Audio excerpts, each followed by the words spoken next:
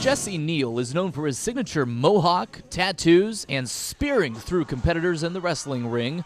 But what not everyone realizes, he's a true American hero. In wrestling, everybody thinks it's just a gimmick this, gimmick that. But with me, it's actually true. Neal was a petty officer on board the USS Cole when tragedy struck. It was a huge ship, and I thought it was indestructible.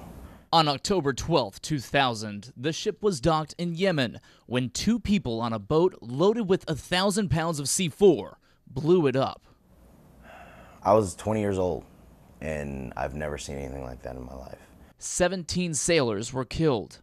One of them was Neal's best friend, Mark Nieto. I talked to him right before it went off, and because uh, we have headsets, and uh, he uh, he had one down in the engineering space. And we talked. That's the last time I heard from him.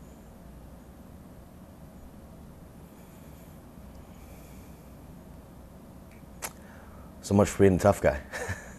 Neal's toughness was tested over the past 11 years. Today, he still struggles with the images of the attack. The nightmares, the, the night sweats, waking up screaming was getting worse, and I needed something. And nine years after the bombing, Neal found it. In 2009, he fulfilled his dream and Nieto's by signing on to be a professional wrestler. Me with wrestling keeps that memory alive, and it keeps me alive, and it keeps me on my path.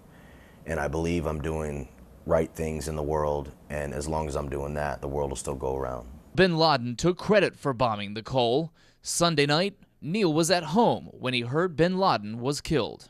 I, and I want to say when people die, it's a good thing. It's not. It's never is. No matter who it is, it's not a good thing when people die.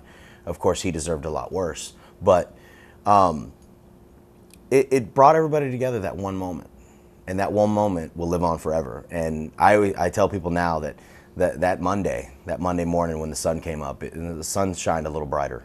I'll tell you that. In Orlando, Mark Jenkins, News 13.